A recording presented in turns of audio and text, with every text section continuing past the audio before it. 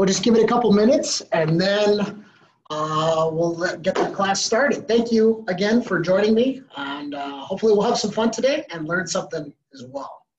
So it's about two o'clock, um, two o'clock my time. Let's uh, give it a couple minutes, and then we'll get started with the class.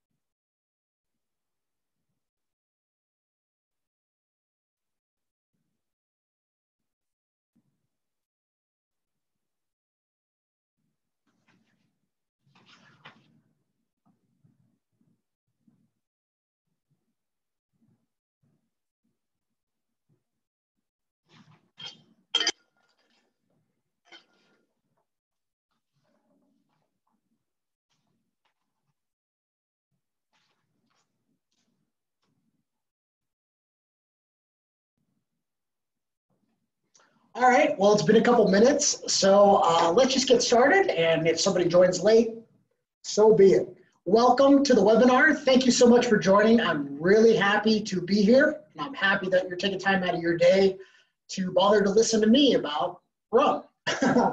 so uh, hopefully we learned something today, and uh, besides just making cocktails and have fun along the way. Rum is something I think that there's a lot of misconceptions about out there, unfortunately. So this presentation is kind of aimed at clarifying that. At least there's misconceptions here in the United States. I can't speak to what part of the world you might be in. So let's try to fix that here. I think a lot of people are thinking of tropical vacations, pina coladas, sugary sweet drinks, when necessarily that isn't the uh, correct thought about rum. Uh, rum is actually, when they make it, no sweeter than Scotch whiskey or vodka, for instance. It's just that uh, what they do to it after they process it, um, adding caramel coloring, sugar, that sort of thing that makes rum have that extra, um, uh, excuse me, I'm just seeing a note on the computer, uh, seeing that it might be a little bit uh, sweeter, but we'll go into that in just a moment. So a little bit about me. I grew up. I grew up. No, because what he needed. Oh. Somebody wasn't muted there. So uh, I grew up in the United States, uh, California, Northern California, and I've only been in hospitality, uh, bars and restaurants my whole career. Started as a dishwasher, and I worked my way up. I was a valet until I scratched a car and then that put a, a quick end to that. And then I moved inside and started bussing tables, waiting tables, bartended throughout college, and, um, and made a, a, real life of it. After college, I worked for a whiskey company, Jack Daniels Whiskey, uh, as a salesman. Terrible salesman. so got out of that uh, very quickly and then got into bar and restaurant management where I've been ever since. I've worked in different parts of the United States from Hawaii to Arizona, California. I was the assistant director of beverage for a casino in Las Vegas and overseeing their whole beverage department. So I really have a passion uh, for beverages and also teaching because I think that's a lot of fun for somebody to discover a beverage they don't know or to discover um, just more about something that they, they might enjoy as well.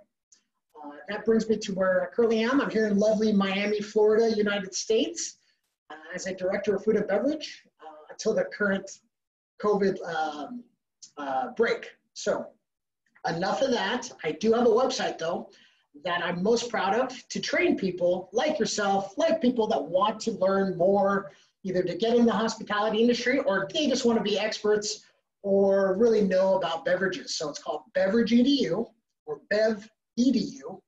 Uh, and you can go there, learn about whiskey, uh, rum, tequila, mezcal, wine, everything's on there. And just because you're viewing this presentation today, I got a great deal for you, 50% off uh, annual membership. It's usually $69 a year for access to all my courses.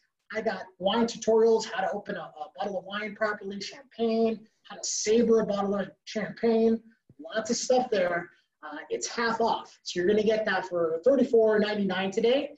There'll be a code that you can get. Uh, I'm not sure how we'll get that to you. I can work that out with the good people here. Uh, but you'll get a discount just for watching, and I really appreciate that. Hopefully you get something out of it.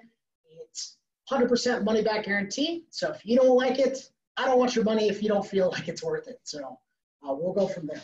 But enough about me. Uh, let's get into rum and today's presentation. So today we're going to talk about, uh, we're going to clarify some of the myths about rum. Uh, I'm going to explain a little bit about production, aging, etc. Different types of rum, which hopefully you can read my terrible handwriting here. And then uh, we're going to make a few cocktails, which is always fun as well. So as you may or may not know, rum is made from sugarcane. And that probably is why most people think that it is sweet. Um, just because it's made from sugarcane doesn't necessarily make it sweet. But like I said, we'll get into that. It's mostly made in Latin America and the Caribbean, but it is made all over the world as well. I, I do know that Australia, Canary Islands, uh, Belize to Brazil. Uh, basically, everybody makes some form of rum. Lighter rum, um, which we'll get into the different grades and class, classifications of rum. Uh, lighter rums are typically used in cocktails, like uh, vodka would be, because there's less flavor in a lighter rum versus a dark rum, which is kind of meant to be consumed by itself, um, either neat or cooking, or you just put it with a couple ice cubes, which is kind of what how I like to do it. Um, but um, we'll go on from there. So there's basically two basic classifications of rum, and those are based off of how it's made. Excuse me. You have, pardon me. So you have agricultural or industrial rum. Agricultural, and so it's important to kind of know how rum is made so that you can understand the different flavor profiles that come from come with it. So agricole uh, or agricultural rum is one style, and then industrial or industriel, I believe it's French, uh, and I apologize to anybody, any French uh, speakers uh, for any mispronunciations along this course way. So it all comes from sugarcane, but it's the root of how the distillation process starts that uh, really tells you how the final flavor profile is going to be. So kind of to, to further explain these two styles, agricultural or industrial. Um, basically, uh, I'll tell you, I'll, I'll, I'll, give you an analogy. A desert isle, uh, if you're ever stranded on a desert isle, I'm gonna explain to you how to make alcohol. So if nothing else from this presentation, you're gonna know how to make alcohol. Good stuff, right? so think about it, you're, you're stuck on a desert island, there happens to be sugarcane growing. There could be coconuts and other stuff basic way to make alcohol is that you need sugar, you need fermentation, and you need uh, distillation. So fermentation, easy.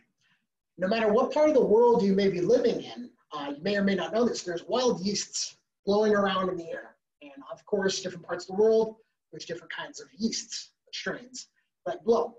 So all that yeast does uh, with sugar is it consumes sugar and then it has waste product. The waste products that yeast expels is CO2, carbon dioxide, bubbles. So that's actually how you get bubbles in champagne or beer, but that's for another presentation. And the waste, it excretes alcohol. So basically, if you have some form of sugar, uh, sugary liquid, wild yeast, you know, let's say you have an open bucket of sugar, you know, let me dial it back. I apologize. You have sugar cane, which I have here. So this is already stripped down. You can't probably see it too well, but sugar cane. So you're on your desert isle.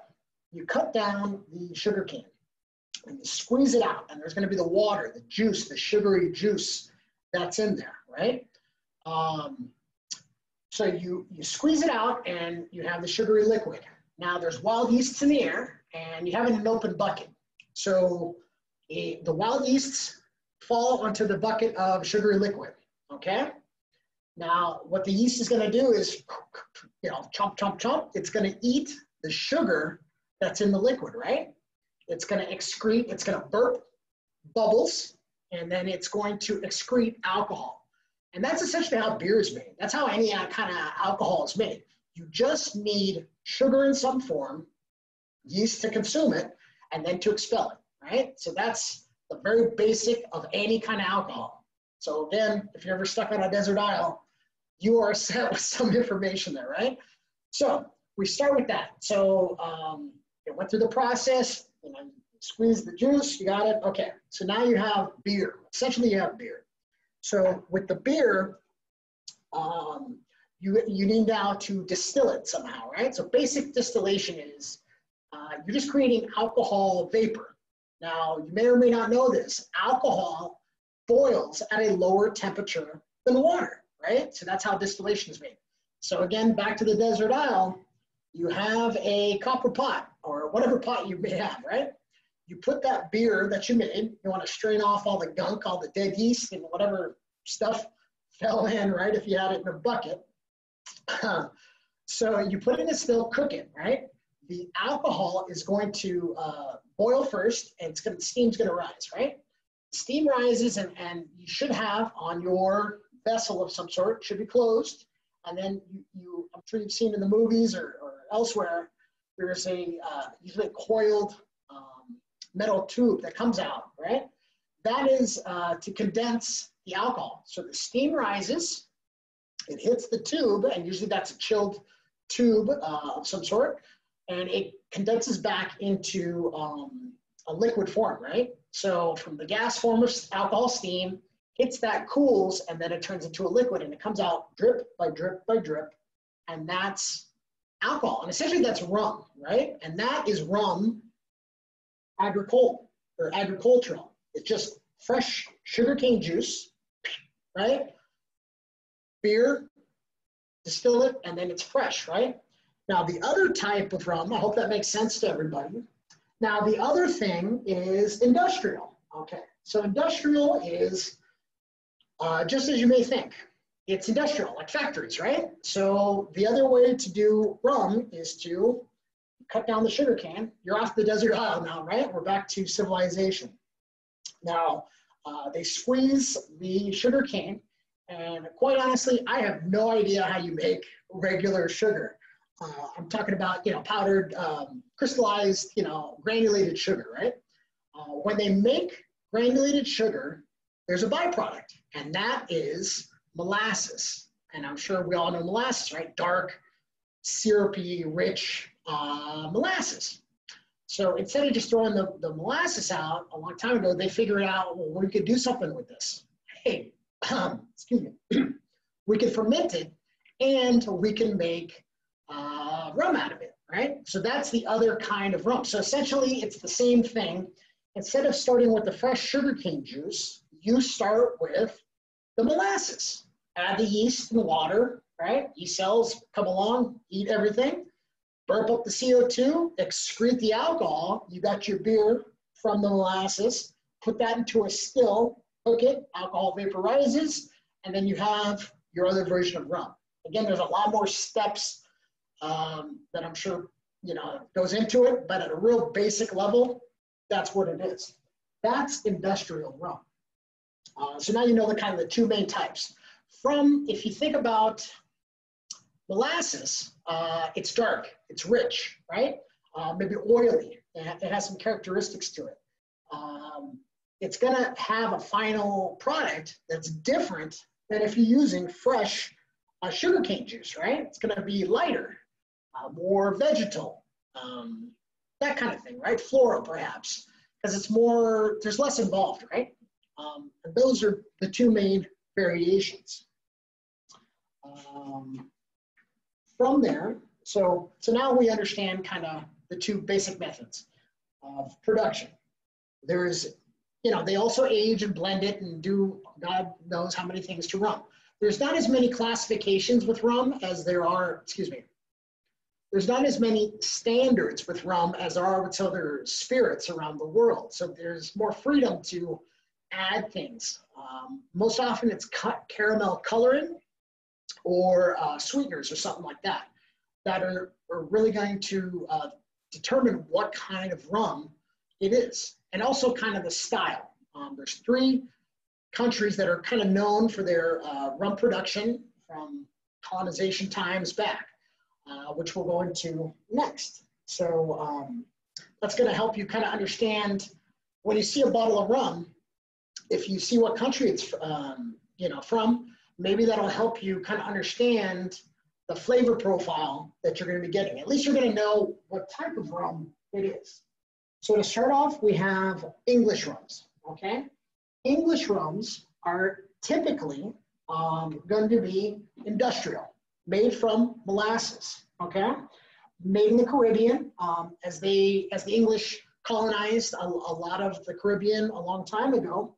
Uh, that's how those styles developed there. Um, think of countries like Barbados, Bermuda, Jamaica, Trinidad and Tobago, Virgin Islands, St. Lucia, that kind of thing. Those are going to be English style rums. They're known to be darker, uh, richer, bold, aromatic. I hope you can read my handwriting here, I apologize. Uh, spiced uh, and rich. Basically, just a dark, rich product. Great, great rums uh, in the English style, right? Um, then we move on. You have French rum, or, and it's rum spelled with an H, the French spelling, or rum agricole.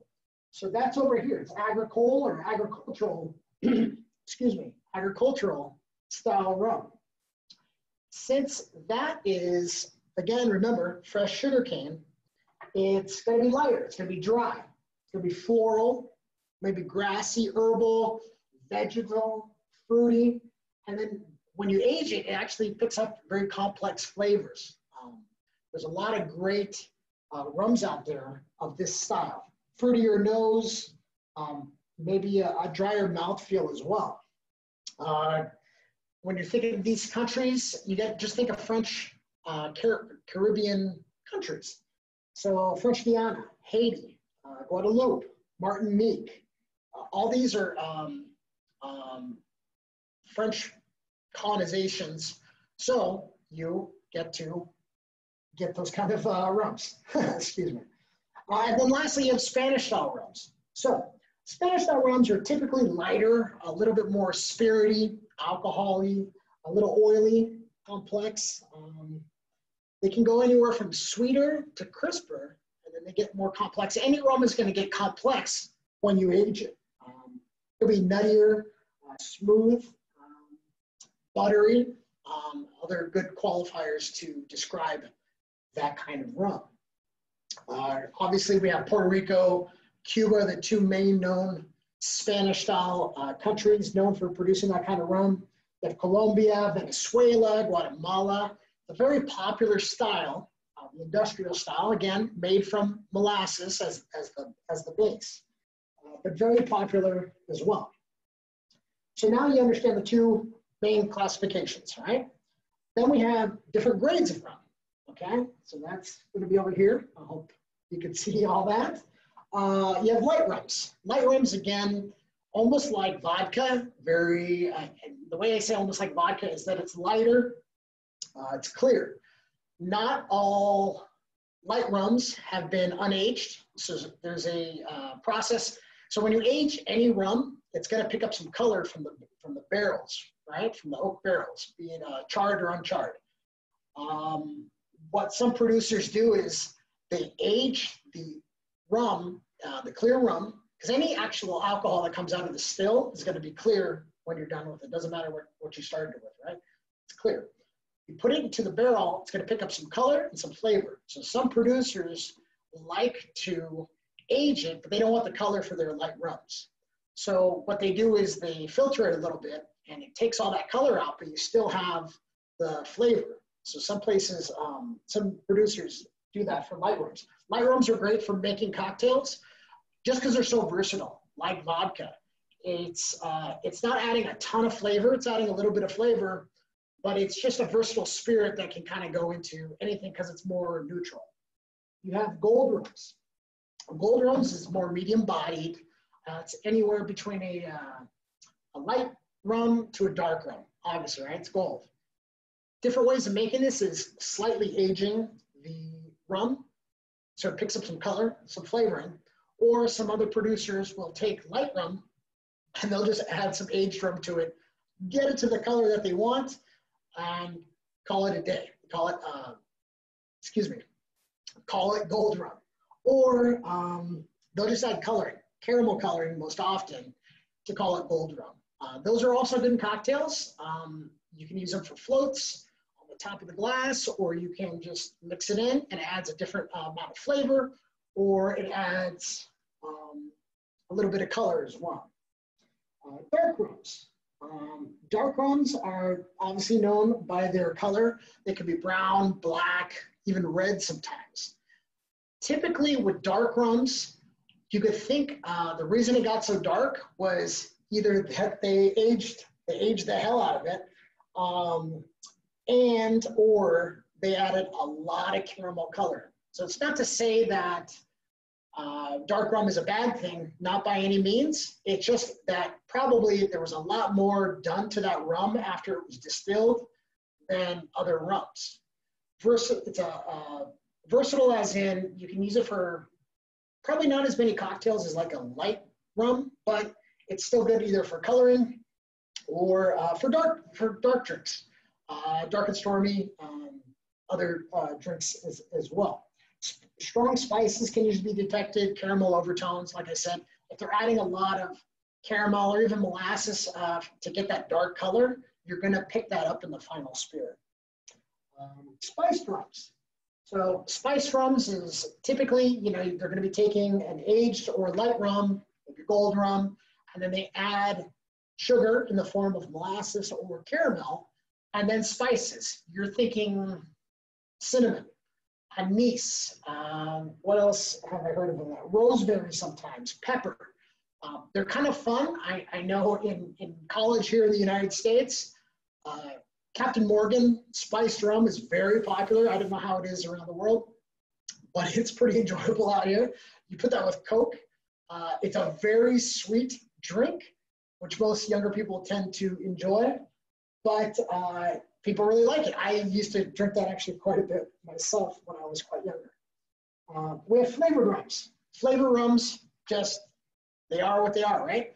You have a base spirit, and either the producers infuse it with fruit or um, other flavors, or uh, a lot. Unfortunately, what what most people actually do, most producers, is take um, extracts. So they're just taking the flavor of, of orange or lemon or what have you, and just taking the extract, another chemical, and dumping it into a, a white rum, and then calling it a day. That's your flavored rum. Typically, those tend to be kind of sweeter, but they're good in a, in a pinch because let's say you're in a place where you don't have a lot of fresh fruit. Some of those actually come out um, pretty pretty nice. You know, the, the flavor profile. So it's a way of interjecting that flavor. So you can you could put into a drink that uh, maybe you don't have fresh strawberries or fresh watermelon or, or, fresh whatever the heck wherever you're living. You can get some flavored rum put a little half ounce of that and, and i apologize my measurements are going to be in american in the united states uh, depending you know I, I don't know the metric system. I do believe it's probably a better system. I wholeheartedly agree with that but i just don't know it. So shame on me um, but anyhow, you could take the flavored rum, put a half ounce of that into your cocktail, and then bingo, you have strawberry flavor or banana or what have you. So it's kind of fun. Uh, Cruzan does a lot of flavors. There's a lot of companies that do a lot of flavors. I, would recommend just checking out companies that are have been around for a long time, uh, not just some of these fly-by-night companies that, that pop up all of a sudden and, and you see this uh, cantaloupe flavored rum. You know, it might be good, but it, the tried and true ones have been around for quite a long time. Uh, overproof rums, overproof or navy rums, basically, excuse me, basically that just means they're overproof, right? They're heavy on alcohol. The average rum is going to be 40% alcohol by volume or 80 proof, okay? Uh, some of these rums are going to get up to 60% alcohol by volume, or even up to 75, 80% alcohol by volume. That's a lot of alcohol. Uh, some of them are even, um, I think of 151, uh, uh, Bacardi 151, great for putting on a cocktail, and then you set it on fire, it has a nice effect, right? Because not all alcohol is going to uh, light on fire. So um, nice if you want to add like a little pop to your drink, but also great if for, for tiki drinks, or you just want to add a real punch to your drink. One of those overproof rums is going to work out well for you.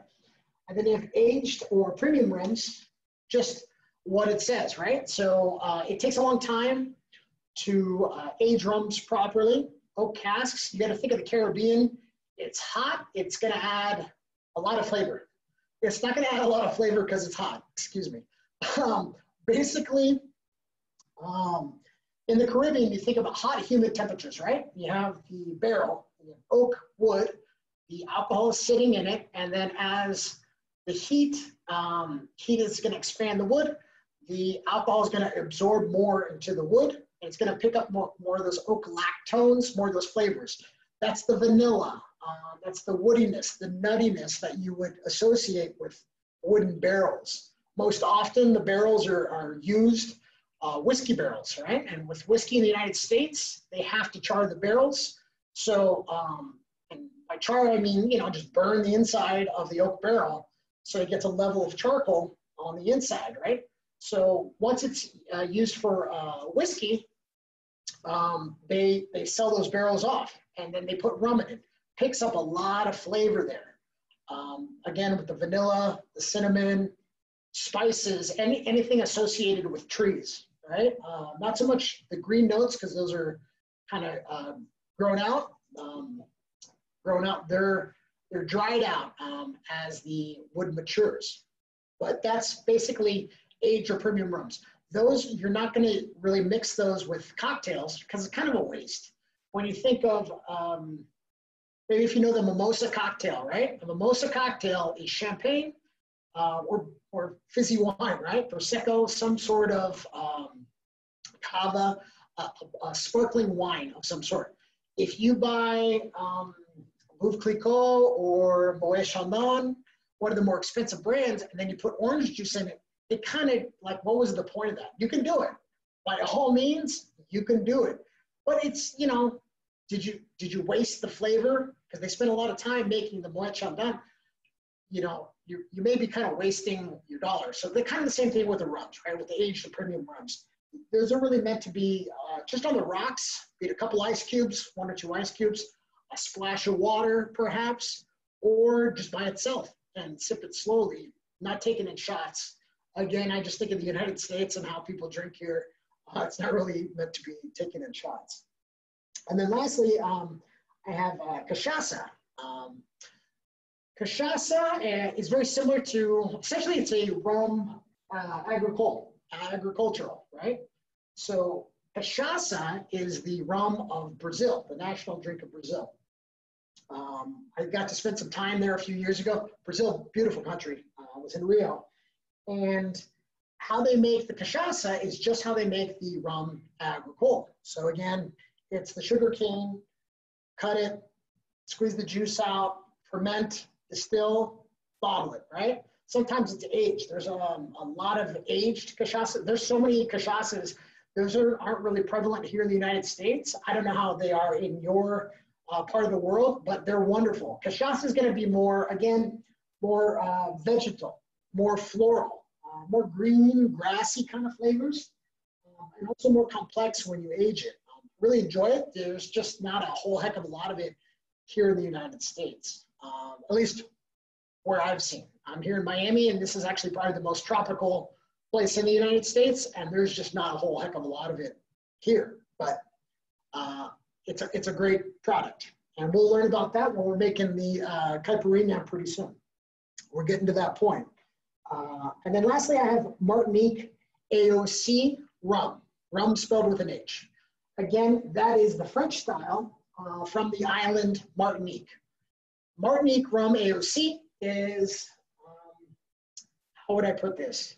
It's uh, protected. Uh, AOC stands for, I believe it's Appellation uh, Origine Controle. Again, I don't speak French, and I'm very uh, apologetic for that. So essentially, though, it just means it's a protected item.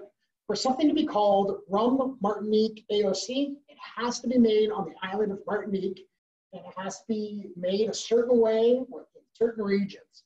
Just like uh, brandy or uh, certain brandies or champagne is made. So uh, to be a cognac, brandy, you have to be made in the cognac region of France. And then there's other stipulations of what grapes you can use, uh, Ugni Blanc, and, and other, other stipulations of how it's aged and how you do it. Um, cognac can only be made cognac. I can't make cognac here in Miami, right? Uh, champagne. Champagne is just fizzy wine you know, it's sparkling wine made in Champagne. Again, they have a lot of stipulations. Uh, I've been through there. If anybody has a chance, Champagne is beautiful. And The people were so nice and the tours were amazing. Um, so I highly recommend that if you get a chance. Uh, but again, it's a protected name that other countries around the world recognize because not all countries agree to these standards. Martinique rum AOC is one of those protected items. Um, but essentially, it's a French agricole rum, and it's light, it's dry, it's floral, delicious, uh, and it's great um, also when they age it. So that's kind of the, the types, more or less. So um, hopefully that gives you a good understanding of rum in general. Now I guess we'll get to the, the more fun part um, of making some cocktails. So uh, I'm going to do a couple cocktails today. Um, We'll start off with uh, a daiquiri. Okay, a daiquiri is a classic Cuban cocktail. Um, now, people might think you need a blender. None of the drinks we're doing today are going to need a blender. Um, I don't know if I should be zooming in a little bit closer. Hopefully you can see me. But we we are going to try it this way to see. I guess just send something on the chat if you want me to zoom in, zoom in a little bit better. Um, the Daiquiri, the classic Cuban daiquiri, was invented sometime around the Spanish-American War uh, time, and it was a favorite drink of Ernest Hemingway, the writer, and uh, John F. Kennedy, the president. So that's kind of like a little fun fact for you. It's a basic sour drink, so um, should be pretty easy. So excuse me as I get some of these things a little better situated. So um, we're going to start off. Um, start off with a, a, a jigger. Um, depending on where you're from, you may or may not have seen these too much because some people just free pour the alcohol. Now, you have these controlled spouts for a reason. The, there's a little uh, hole here on the top, and depending on how you hold the, uh, the flow, controls how much liquor is going to come out of the bottle. I personally like to see when people are using the jigger because it means I'm going to get a measured amount of alcohol. The essentially cocktail making is going to be like baking. You have to have well, you it's it's more forgiving than baking because I understand baking is kind of a pain. Um, but you need to have measured ingredients to have a consistent drink every single time. When you're kind of eyeballing things, and, and I've been known to do that myself, it it gets the ratios off, and then you can have a drink that's either too sweet or too strong with alcohol or too acidic because there's too much lime, too much whatever. You really want to have it so that it's a nice balanced cocktail every single time. I like to use the analogy of that because uh, I've, I've made drinks that I, because I usually personally taste every single uh, drink. It's I've had drinks that come out perfectly, and then people say, "Well, I didn't taste the alcohol." Well, good. You weren't supposed to taste the alcohol. When you when you make blueberry muffins, do all you want to taste is blueberries? That's, that's not how it works, right? So you want to taste the butter and and, and the, uh, the dough or whatever you know whatever muffins are made of the, the muffin. You want to taste the muffin, right? The spice and, and, and all that kind of stuff. You don't want to just taste uh, blueberries. So when you're making these cocktails at home, you should be aiming for nice balance on your palate of acidic to, uh, you know, with the lime to sweetness. Um, and any bitterness, you know, like everything should play well together and not be one dominant flavor compared to another. But that's just how I, I think it should be, right? So um, here we go. We have our classic uh, recipe. We're gonna start off with, and I, I might go a little bit big because you gotta think this is a bigger glass too. So the recipe that I have is gonna be about three ounces of liquid. Then you shake it and maybe it's gonna, with the ice and the water, is gonna chill it down to about four ounces. This is a seven ounce glass though. So when you're making these cocktails, you gotta think, if I do a four ounce cocktail, it's gonna come out to here. So the only way to fix that is to make sure that you either increase the ratios. You don't wanna just have one more thing than another, or um, you could shake the hell out of it to try to get some more ice and water out of it to kind of stretch the drink. But nobody likes a watery drink, right? So uh, that being said, we're gonna start off. So I'm gonna go with uh, two ounces of Bacardi rum. And then I'm doing, um, this is fresh squeezed uh, lime juice. And I, I, wish I had a better uh, vessel for this, but we're gonna do an ounce of lime juice. And I hope you can, I hope you all can see me. And then we're gonna do um, half ounce to three quarters of simple syrup. Simple syrup is just that, it's simply syrup. It's sugar and water. Really easy, easy thing to make at home. I bought this just because I was in a hurry, but basically it's, it's white granulated sugar water. And you just heat up the water and stir in the sugar. So the ratio is typically two to one. Two cups, and again, by uh, American measurements, two, two parts, let's say this, two parts um, granulated sugar to one part water, okay? Heated water. And all you're doing is just mixing in the water until it's clear.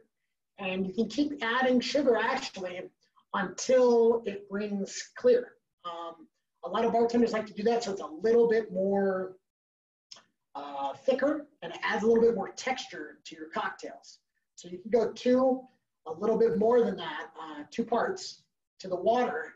If it's at a certain point, you're not going to be able to dissolve the sugar anymore, and then it's going to be kind of cloudy and it, it, it, it's not right. So it's not right for the cocktail, and it also adds too much sugar.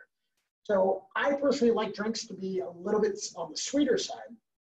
That's just how I am, and it's, it's my bad, but uh, up to you on how much you want to do it. So the recipe though calls for half ounce to about three quarters ounce. I'm going to probably go about three quarters ounce. So with the jigger here, this kind has two ounces, up to two ounces is the lid, uh, the top on one side, and then this is one ounce on, on one side. So we'll go three quarter ounce. And that. Now I also add the ice uh, last. Now the reason I do the ice last, I've, I've seen different ways. Um, I don't like to water down the drinks. So typically, if I'm, you know, especially here in the tropics, if I start making a drink and then I get backed up with something else, if I already put ice in that glass, by the time I come back to it, even if it's just a minute or two, that thing is, is it's water. Nobody likes a watery drink, right?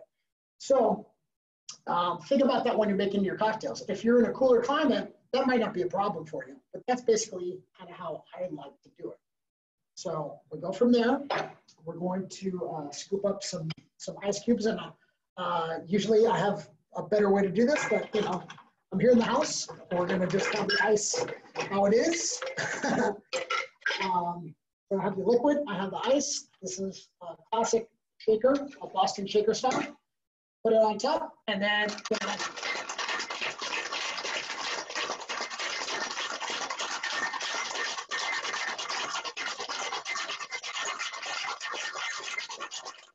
Now, it depends on, uh, you get your own style kind of for shaking and stuff like that. Uh, I'd like to do it for about it depends on the drink, but some drinks you're just trying to mix the ingredients. This one you're also trying to cool it um, and maybe dilute it a little bit if there's not enough base ingredients. So for here, I'll do a double strain. So one strainer. When I say double strain, the reason you might do that is to catch some of the ice um, ice particles that might come out. So from here, we go in there, Hopefully you can see that.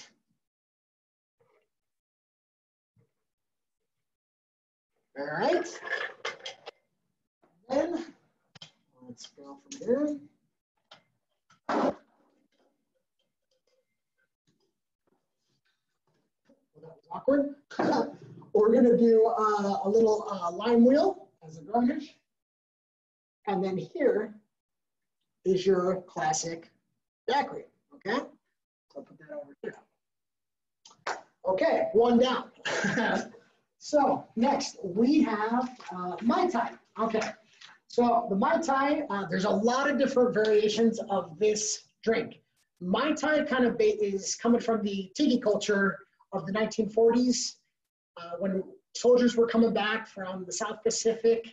They kind of were reminiscent of, of you know Hawaii and, and, and Fiji and those kind of areas that they were stationed in, and and Vic, uh, um, excuse me, Trader Vic, uh, Victor Bergeron, um, kind of took advantage of that uh, in the Bay Area. He created Trader Vic's uh, and kind of helped lead the tiki style um, revolution, if you will, of the 1940s into the 60s. That was real popular. Everybody wearing, you know, tiki drinks, thatched roofs, Hawaiian shirts, that kind of thing.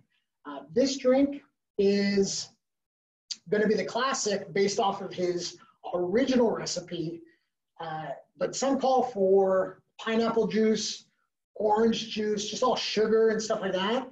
This version is not like that. There's nothing wrong with those versions. I like pineapple juice myself, so I might enjoy a version like that. But this is basically more the rum, um, the orgeat uh, syrup, which is almond. Uh, I think there's a little bit of orange in there as well. Uh, syrup, it's like a sugar syrup uh, mixed with the rum and simple syrup and some lime juice. So it's a pretty easy drink. Um, and it's really enjoyable though, uh, very refreshing. Um, but that orgeat syrup really adds a different element that you may or may not be familiar with. I really suggest you try it because it adds just a, a, a, different flavor profile than you may or may not be used to.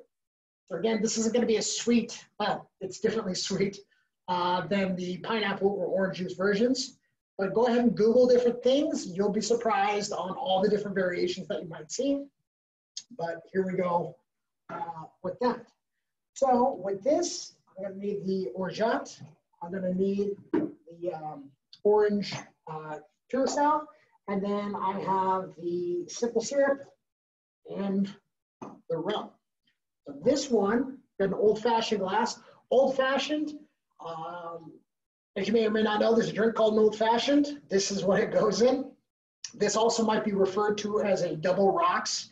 So typically a rocks glass is gonna be more narrow and maybe a little shorter. It's meant for drinks just served neat or maybe on the rocks, a couple of rocks, uh, a couple ice cubes. This one is just a, a, extended version of that. So put that down, I guess for the purposes of you seeing what I'm doing here. Um, we're going to, it's um, also, excuse me, I should, I should mention this drink is meant to be served on crushed ice. I don't have any crushed ice. I kind of ran out of time to crush this ice, but you get the basic idea of what we're doing here. So uh, we'll start with the fresh lime juice. We're gonna do three uh, quarter ounce of fresh lime juice. Okay. We're gonna do a half ounce of the orange curacao. Uh, we have a quarter ounce. I like the orgeat, um, orgeat uh, syrup, so I'm actually going to do a half ounce just because I like the flavor of it. Uh, so that's the uh, orgeat syrup. And then we're doing a quarter ounce of uh, simple syrup. Uh, the original recipe calls for Demerara, Demerara simple syrup. So you could make that yourself or purchase that. Since I just have this regular simple syrup, I'm going to use that instead. So we'll go with that. And then I have a nice uh, Appleton Estate uh, Jamaican um, Jamaican rum. So I really enjoy this rum. Uh, it calls for the original recipe pot distilled or perhaps blended rum. So I kind of think the original flavor profile, they were looking for uh, darker rum. So uh, this is a darker rum. It's good quality. So we're gonna go from there. So two ounces of that. Okay. Again, I use the, uh, I do the ice last. Um, so we'll do this, excuse me. For my hands, in a regular situation, I could, I could scoop it a little bit better. Uh, we're also gonna, uh, ice the, ice the drink, ice the drink. And again, that should be crushed ice ideally, but this works as well. And I am going to get some ice in there.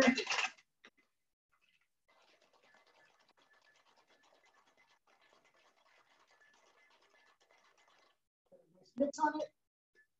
This is just a regular um, strain. So strainer on top and hit it there. So this is your classic uh, Mai Tai, as uh, Trader Vic liked to do it. Apparently back in the 1970s, uh, one of his regulars for one of his restaurants uh, used to like it with a float. So I think that's kind of how a lot of people got uh, confused on how um, there's different types of rum and uh, different fruit juices and such, so many variations on this certain drink. So myself included, I like a little bit of a float. So what I tend to do, let's see if you can kind of see what I do here. I like to do a float of alcohol over the top. Uh, that's when a spoon comes in handy. There's a bar spoon. You don't have to use a bar spoon. You can use any spoon. But the purpose of it is to kind of drizzle the alcohol over the top so that it layers and sits. Uh, you know, the Myers rum is a heavier type rum. It's so it, any dark rum, it's going to um, kind of sit on top. So with that, I like to just kind of drizzle slowly over the top. And then you can get a nice, um, I'll pull that up so you all can see that. Um, let's see here, let's get a nice garnish on there for you. And with the mint, so the reason you, you always got to slap the mint. Okay, I learned this a long time ago. Um, with slapping the mint, it expresses some of the oils and it, it gets some of that, that aromatic uh, out there for you. So when you take that first sip, that's what you're really getting is the lime and the mint, and it's just it's just amazing. So I think my mint's dying here a little bit, but the original, let's get a nice lime on there for you. So this is a classic Mai Tai with a variation of the dark rum floater on top. Okay. Get these things out of the way. I apologize. Okay, um, moving on. We have mojito, uh, another Cuban drink. So let's see here. Now, mojito was apparently invented in Havana, Cuba. I knew it was from Cuba. I had to do some looking to see where it was from, um, as far as what part of Cuba. And apparently it was, you know, invented to help with some dietary issues as a medicine of sorts, because it has mint and it has lime, and that prevented scurvy. So supposedly that with some sugar is going to make you feel better. I love mojitos. I used to make them as a kid for my for my dad. Uh, we had a big mint thing in the backyard, so my dad would have me go get some mint, uh, you know, crush it down for him, and then he'd make his mojitos. So I, I have a fondness in my heart for this drink. So uh, tall. Um, this is kind of a big Collins glass. You want to have a tall glass. This is a tall drink. Um, oh, and I forgot the um, uh, club soda. So we're gonna do this and you're gonna have to use your imagination a little bit. I, I do apologize, I just remembered. Uh, yeah, um, so basically uh, mint, lime, rum, and club soda are the ingredients. And I do apologize, I forgot the club soda. We're gonna use water just so you get an understanding of, of how that looks we're thinking this is club soda. So with this drink, um, we're gonna do um, Bacardi white rum, uh, Don Q uh, from Puerto Rico, also an amazing rum. I was very fortunate a long time ago to be able to personally tour the facilities with uh, Roberto Serrallés, who's the um, the owner of the company and amazing, amazing uh, guy. And you know, took me all through the facilities, but their rum is actually more popular than rum. Uh, excuse me, it's the most popular rum sold in Puerto Rico, even over Bacardi, which is like a you know worldwide brand. It's a, it's a wonderful product. If you can get it, just try it. Their Gran Añejo's won a, a, bunch of awards. I don't get paid by them, so this is just a, a personal recommendation that I like their products and that I like Roberto. He's such a nice guy. I'd like to give him a shout, a shout out. So uh, with the with the mojito, this is going to be a build actually. Now that I think of it, uh, this is going to be a build in the glass. So you want to have nice mint leaves. I was lucky to secure some some nice big leaves here. Um, different recipes call for different amounts. I like to get a fair amount of mint because it, it you know, a minty, sweet, limey drink, right? Um, so get some together. And sometimes it's kind of tough depending on what part of the world you live in. Uh, and I usually tear them a little bit just to kind of get it going. And you have about a half ounce. And again, if you like less sweet or more sweet, that's up to you. So I do like a half ounce of simple syrup. And then we're gonna do, um, you can either muddle the lime juice, uh, excuse me, muddle fresh limes in it or have fresh lime juice. I like to do um, the fresh lime juice and then muddle the, the sugar, the simple syrup, the lime, and the mint together. So muddling, this is a muddler.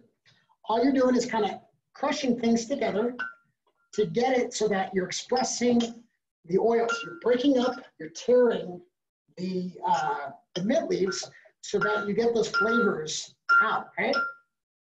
So you crush it, you get in there, and then maybe I'll throw in a couple limes. And again, the lime juice is already in there. You got to be careful not to over crush limes. That's kind of why I like to use fresh lime juice as opposed to muddling the limes.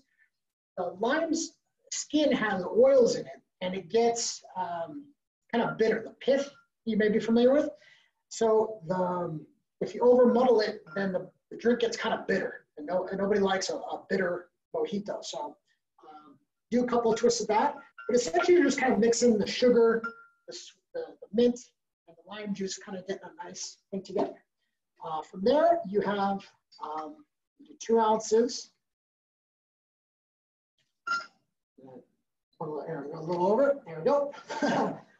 um, uh, and that's your base. You're going to add some ice cubes. Okay.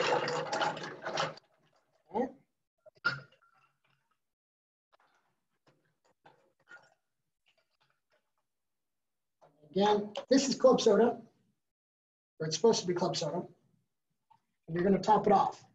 This is a bigger glass than uh, I typically use, but for the purposes of demonstrating things today, I thought that would be a little bit easier. So get this in, and then we're gonna do a stir, okay? And when you stir it, so this is a basic stir, and there's a reason why there's these little curved grooves in a bartender's spoon. It's so that you can, you know, stir nice and easily. And I like to kind of go up to kind of make it, you know, get that mint all over the place. Hopefully you can you can see that all nice and sexy. Uh, and then put that together. Here's our sugar cane from before. That's a nice little garnish. We're gonna do a, a mint topper. And we're gonna go like that. And then we're gonna do a nice uh, lime as well. Maybe another ice cube. And there you go with, here. So let's do a wheel. Why not? That's pretty. Now that's a sexy drink right there, right? So then you have your mojito, okay? Hopefully you can, can you, can you all see that? See that drink. Uh, and then lastly, we're going to do a caipirinha. Caipirinha, national drink of Brazil. Uh, as I mentioned earlier, was in Rio, had amazing time, and I got to learn how to make caipirinhas. A, a variation of this drink is called a caipiroska. So take out the cachaça and put vodka in and then you have, it's essentially the same drink, but with vodka. So cachaça, again, uh, this is probably the number one brand there's a lot of different cachaças out there. Again, not a lot made it to the United States, um, but this one you're pretty sure to see it here and maybe other countries. I don't, I don't know their uh, distribution. Um, Cachaça 51 is another popular one, um, but great um, agricole or agricultural style rum. Again, remember fresh sugar cane juice, right, to make this stuff, right? Essentially, a, Kuiper, uh, a caipirinha is going to be a, a, kind of a mojito with no mint uh, and no club soda. So the it's it's just a sweet, limey drink. With that, we're going to have old-fashioned glass. We're going to put in quite a few. Um, actually, we're going to put in a whole lime. So how I learned to do this was in in Rio so hopefully you can kind of see this line, right? Again, I mentioned that there's going to be oils and bitterness in the um, in the pith and the, in the skin of the lime, right?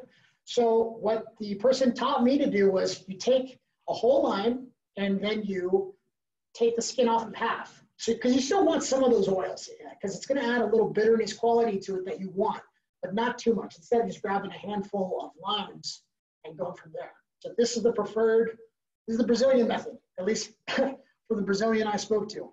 This is how you do it, right? So uh, I'm gonna go from here, uh, throw that in there, and then we're gonna have simple syrup. I, again, like kind of sweeter drinks, so we're gonna go three quarters ounce, maybe to one, and you do that kind of up to yourself, right? Throw that in there. Now, uh, we go and start muddling away. It gets kind of hard when you got a whole lime in there. Hopefully you can kind of see, see what I'm doing. you don't want to muddle in the air because I've had that go wrong, right? But essentially I'm just crushing the lime to really get the, the lime and the sugar mixed really well together.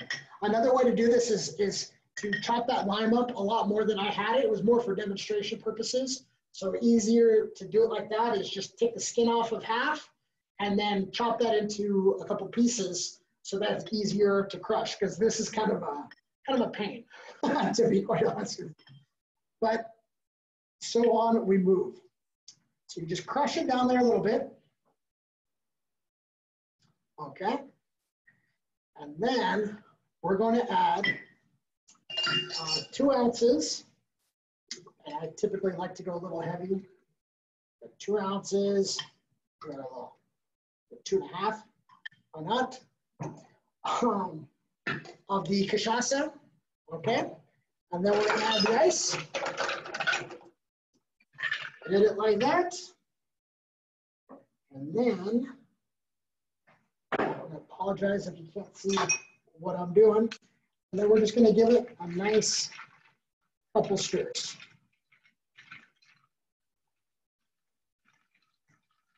Hope I'm good on time here, not wasting anybody's time. So we've started. You really want to give it a nice stir to get the sugar. You got a nice piece of lime there. You kind of see. Again, this drink, it's your drink. You're on Ipanema, uh, Ipanema Beach. Think about it. You know, nice hot day. You're in the water, and then this is in your hand, right? It's a sweet, limey, kind of green kind of taste, green because of the, the limes and a green because of the um, herbal or, or vegetal kind of taste the cachaça. So aside from that, so you're all stirred up there. That goes there. Another lime wheel. And there's your drink. So uh, hopefully you all can see those. Let's see if we can, can we see all the drinks here. All right, so we have your mojito, your Mai Tai, daiquiri, and caipirinha. So thanks for spending some time with me. Uh, that's kind of about it for me. Hopefully you learned a little bit about rum. I really have a passion for it. I just, in drinks in general, if you're interested, if you had a good time, you learned something, you want to learn a little bit more, I have, a, as I mentioned previously, BevEDU.com. Check it out. the uh, good people here at ASW, they're gonna give you the promo code I have. So uh, please uh, check that out. It's good for half off of uh, a whole year membership. So usually $69 US. It's gonna be uh, $34.99 US for a whole year. All my courses, how stuff's made, how um, different things uh, that how different things taste. You know, different uh, flavors, different uh, flavors, aromas, uh, techniques on how to mix the drinks. It's not so much as me talking like this, um, but you're really going to get a lot of information. I'm starting to build more recipe videos, but it's all videos as far as where things are from, what they taste like, and how you're going to be able to taste something, uh, be able to look at a bottle and know what it tastes like, more or less, without having to try everything out there. So thank you again for everybody for your time. Hope you had some fun. And uh, I think that's about it for me. Enjoy your Friday afternoon or whatever time it may be where you're at. Thanks a lot, everybody. Take care.